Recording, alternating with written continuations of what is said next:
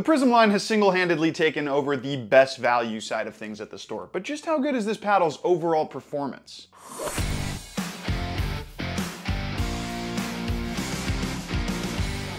Hey everybody, it's Luca from Rackets and Runners. The Vatic Pro Prism has kind of become pickleball's worst kept secret. The company was trying to produce a high performance paddle for under 100 US dollars, but did they actually succeed? The short answer is yes. All the paddles in the Prism line are absolutely fantastic, but then the next question is, are they actually competitive in overall performance with paddles that are almost twice as expensive? But before we answer that question, I gotta remind everybody that any of the paddles we talk about here you can check out on our website, racketsandrunners.ca, and please remember to like the video, subscribe to the channel, and let me know down in the comment section what you want me to cover next. So, the only difference between the Prisms and the standard Vatic Pros is that these paddles aren't thermoformed, they're made from the more standard molding process. But other than that, they are totally identical. That means that yes, they still have the same Toray T700 carbon top sheet, foam injected sidewalls, and the same shape and weight characteristics of their more expensive counterparts. These are all features that over a year ago we were paying over $250 for, so it's pretty impressive to see them coming in at this price point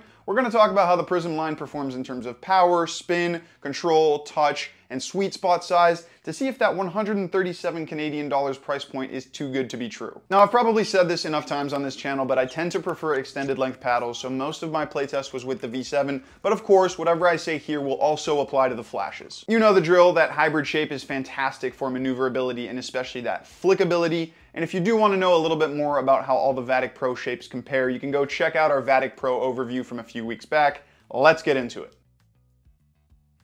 We've talked about it ad nauseum on this channel, but probably the best feature of thermoforming is just how positive of an effect it has on spin. The rigidity of a thermoform paddle means that the transfer of spin potential from your swing to the paddle is much more one-to-one, -one. so unfortunately, in terms of spin generation, the Prisms can't really compete with any thermoform paddle. You have to be a little more tactical about how you hit your spin shots. With a thermoform paddle, you can pretty much just hit at the ball like you would with a tennis racket, here you kind of have to do more of a scooping motion, really letting the ball sink into the paddle bed and then brushing up on it for spin. That being said, spin is by no means bad on any of these paddles. In fact, about a year ago, I would have said it's top, top tier. Compared to other standard molded paddles, the spin potential here is some of the best I've tried. It again comes down to that Vatic core and top sheet, which is just fantastic for spin potential. They've really figured it out over there. You can still hit low dipping passing shots, really spinny serves. You'll just have to work with the paddle a little bit more rather than just kind of throwing it at the ball and letting the thermoforming do all the work.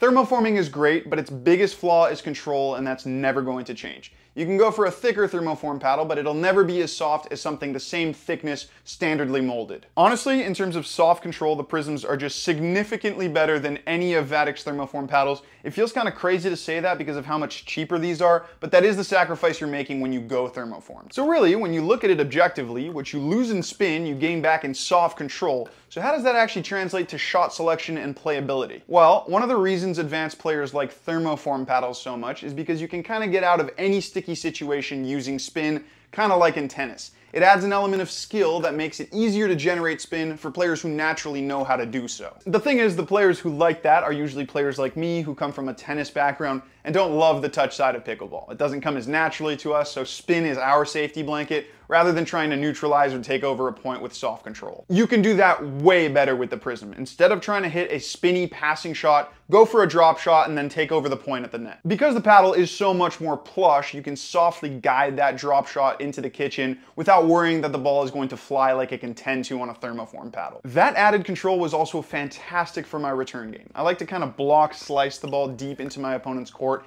and with a thermoform paddle, the response can sometimes be a little wild and unpredictable, not here. I just feel so much more cushion and control over the amount of depth I put on my slice return. It really is a joy to use on that shot and makes up for the slightly less power I get on serve. So basically, any of the paddles in the Prism line are fantastic for control. They're competitive with the best raw carbon fiber paddles on the market right now, with a slight caveat, and that comes in paddle feel. Feel is a bit of an intangible, but if a paddle has good feel, that means the ball and paddle bed interaction is well defined, which means you'll feel more connected to the ball and therefore have better control. The Hyperion for me is kind of the gold standard for feel in the non-thermoform game. You just get this really nice sensation on contact which tells you exactly where the ball is in the paddle face. I do find the feel to be slightly less premium on the Prism line. It's a little bit more hollow and raw on contact, which some people will like, but it just made it a little bit more ambiguous as to where the ball was in the paddle face. I'm not as connected to the ball here as I am on something like the Hyperion, but we're really, really splitting hairs, and for less than half the price, you can't really argue with that.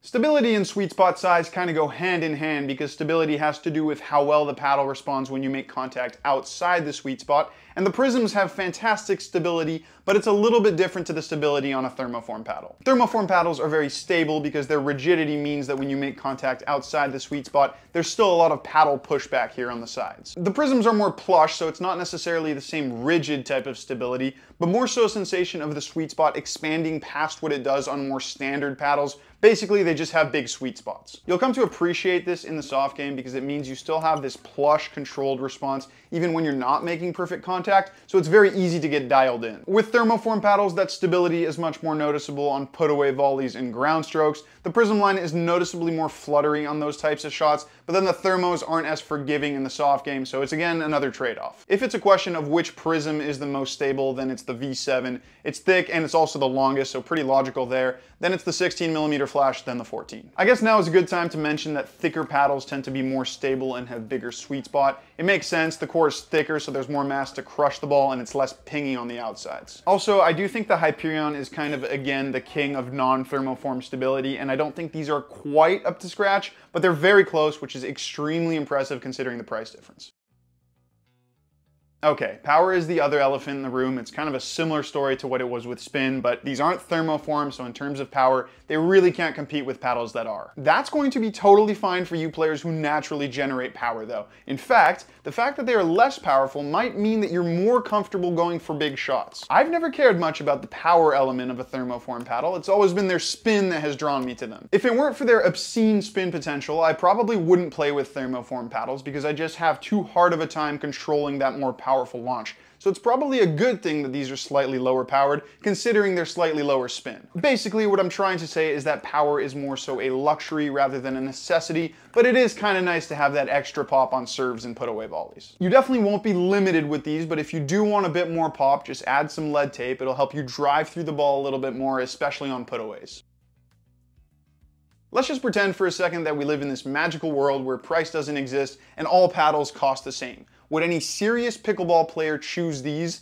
Absolutely, that's how good they are. I've made reference to this several times throughout this review, but it's definitely not that the Prism's overall performance is somehow worse than their most expensive siblings, it's just different, and finding which one works better for you is key in picking one over the other. If you value soft touch and control over top end spin and power, these are not just going to be better value, they're just straight up going to be better for you than the Thermoform Vatics. And honestly, it doesn't really stop there, because if you haven't actually played with a Thermoform paddle yet, you won't feel that these lack any spin or power because compared to any paddle that came out before 2023, they would be up there with the best. So basically, for 137 Canadian dollars, you have a truly top tier raw carbon fiber paddle that has most of, if not all of the playability of paddles that about a year ago we were paying over $300 for. Yeah, Vatic Pro has kind of broken pickleball with these. The only players who won't at least want to give these a shot are players who have become totally used to the playability of thermoform paddles. As great as these are, they simply aren't going to be as spin friendly or powerful, and if you play with thermoform paddles,